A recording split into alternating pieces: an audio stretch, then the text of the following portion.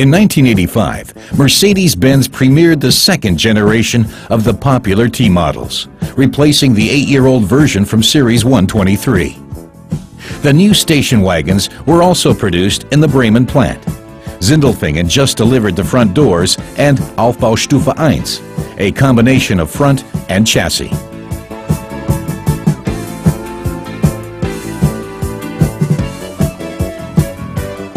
Technically and stylistically, the new T model from Series 124 mostly matches the sedans it is based on.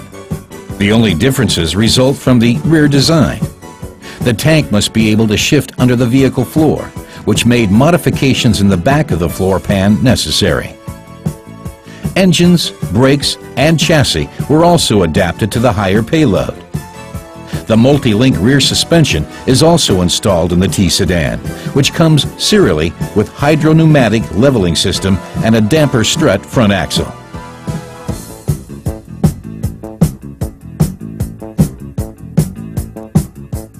Apart from the engine setup known from the E-Class sedans, the range of T models is enhanced by a 300 TD turbo, generating 143 horsepower.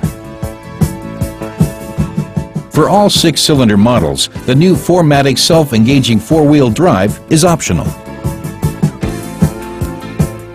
A look through the design kit inspired the 200 TE in 1988. Simultaneously, the 300 TD Turbo received an upgraded engine. In the course of the initiative, Diesel 89, the engines from models 200 TD, 250 TD, and 300 TD were also modified a year later. Traditionally, the T model and sedan follow a common thread, which is particularly obvious in the interior design.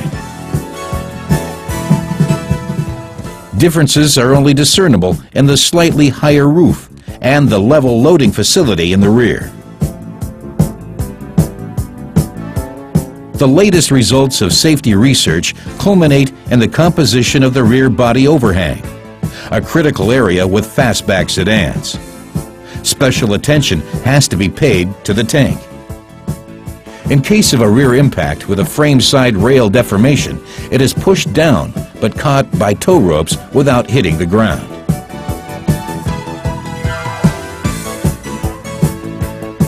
For the E-Class T models, the year 1993 centered on upgrades. The new four-valve technology is now installed in all five and six-cylinder diesel models. Additionally, all diesels have included an exhaust gas recirculation and an oxidizing catalyst since June 1993. Externally, the modified models are recognizable by their radiator grille, which is now fully integrated into the hood. Further features, the colorless glass housings of the front blinkers, wheel trim caps and six-hole design, and new shock absorbers whose protection panes are lacquered in the car's color.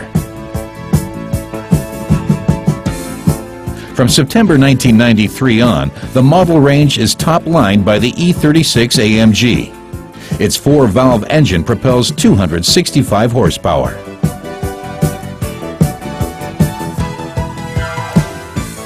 In 1996, production of T models of the 124 series ceased. In about 10 years, a total of 340,503 units came into being. The series production of the follow-up model starts two months after the old one's farewell in Sindelfingen.